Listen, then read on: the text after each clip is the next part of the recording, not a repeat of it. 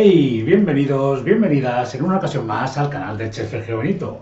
Esta, en esta ocasión os voy a hablar de algo que me habéis pedido mucho en una encuesta que hice en Facebook, sobre todo eh, dentro de la fermentación, y es concretamente la fermentación en frío. ¿Qué es? ¿Por qué tenemos que usarla? ¿Para qué nos ayuda? Y un montón de dudas que os asaltan. Bien, pues hoy en este vídeo te voy a explicar qué es la fermentación en frío y por qué deberías introducirla ya en tus recetas de pan. ¿Vale? Así que comenzamos.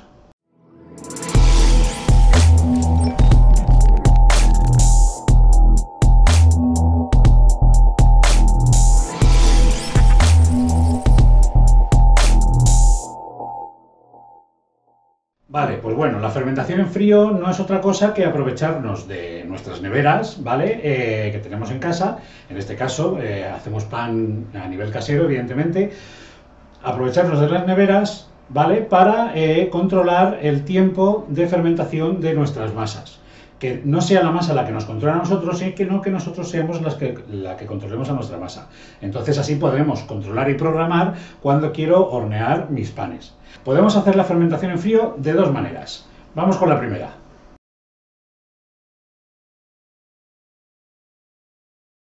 Vale, pues la primera de ellas es, podemos, podemos eh, fermentar nuestra masa en bloque.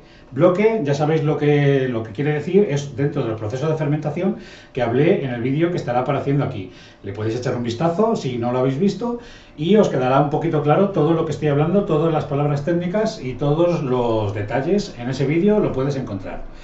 Durante la fermentación en bloque, recordad que le damos varios pliegues a la masa. En este caso tengo aquí una masa en bloque. Yo ahora aquí le he dado varios pliegues, ¿vale?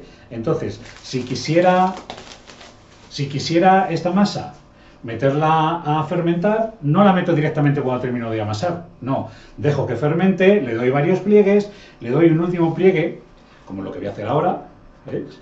Le genero un poquito de tensión, muevo las burbujas de aire y desgasifico.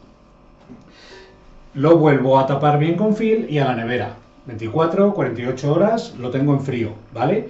Ya la tengo fermentada y cuando quiera, mañana, pasado, cuando quiera mm, hacer los panes, pues la atempero un, un poco antes, la saco un par de horitas o tres antes de la nevera, dejo que pierda frío y ya formo los panes y hago las piezas. Y es en esta segunda fase, una vez formado en piezas, donde también podemos controlar, podemos hacer otra fermentación en frío.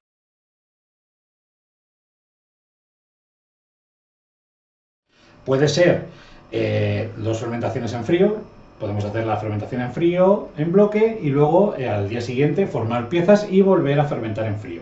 O podemos hacer una fermentación en bloque a temperatura ambiente, que es lo que generalmente se suele hacer, a temperatura ambiente o una temperatura fuera de la nevera, con sus pliegues correspondientes, y una vez que lo formamos el pan, las piezas es cuando lo metemos en la nevera.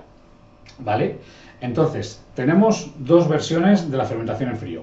Podemos fermentarlo en frío en bloque, pero no inmediatamente después de terminar de amasar, sino una vez que está fermentada por completo o casi por completo y le hemos generado tensión y varios pliegues a la masa, entonces es cuando la tapamos y la metemos entera a la nevera. O podemos hacer lo siguiente, una vez que ya tenemos fermentada, como es este caso, pues ponemos la masa en este caso, imaginaros que quiero hacer esta cantidad de masa, es pues para un banetón, evidentemente, pero imaginaros que queréis hacer varios o, hacéis más cantidad. Pues este es, el, este es el momento en el que tenéis que usar la fermentación. Entonces, ahora lo que haría yo simplemente sería pues eh, formar mi pan, como lo hemos venido formando, en este caso como queremos que sea un pan redondo. ¿Vale? Generamos tensión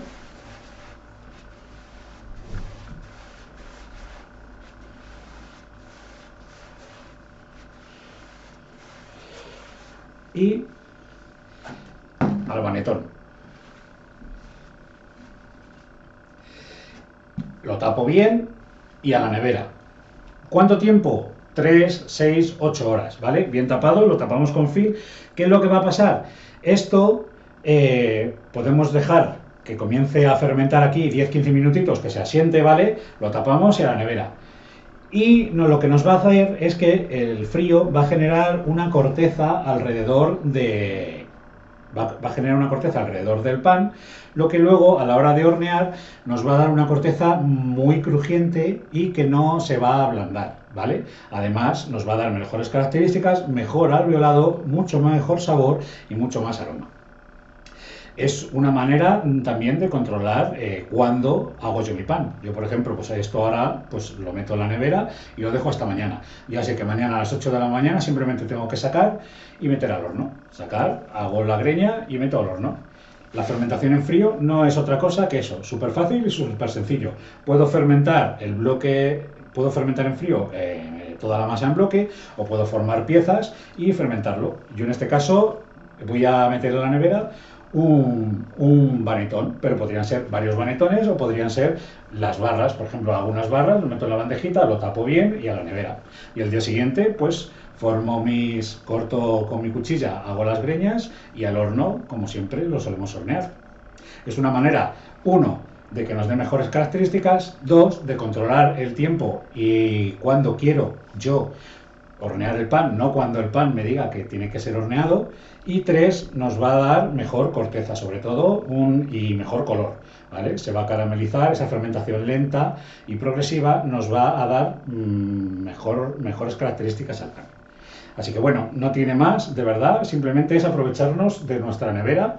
La temperatura, pues entre 5 y 8 grados, pero vamos, como nosotros en nuestras neveras de casa generalmente no podemos controlar la temperatura de, cada espacio, pues bueno, pues depende. Hay neveras que suele ser en la parte más arriba y otras neveras que suele ser en la parte más abajo. Eh, más o menos nuestras neveras de casa suelen estar entre 3 y 5 grados. Es una temperatura más que suficiente para el propósito que queremos hacer. Así que bueno, esta es la fermentación en frío, es otro de los procesos del pan, espero que te haya quedado claro, no tiene más misterio y que la practiques y que a partir de ahora pues ya no tienes excusas. Así que espero que te haya gustado el vídeo, como siempre, si te ha gustado el vídeo y te gusta el contenido que subo al canal, déjame tus likes, tus comentarios y tus dudas y sobre todo eh, suscríbete y activa la campanita para estar al tanto de todas las novedades. También he de decirte que, bueno, pues eh, tengo un grupo de Facebook donde eh, estamos generando una comunidad pararra y donde nos ayudamos unos a otros, compartimos nuestros progresos y pedimos ayudas y soluciones al resto del grupo, a mí y al resto del grupo. Así que pásate por allí porque es súper interesante. De hecho, la encuesta del que viene este vídeo eh, fue en, ese grupo de Facebook. Así que bueno, por mi parte eso sido todo. Espero que te haya quedado claro. Cualquier duda y sugerencia déjamelo en la casilla de comentarios y espero que metas las manos en la masa. Que seas feliz, nos vemos en el siguiente vídeo.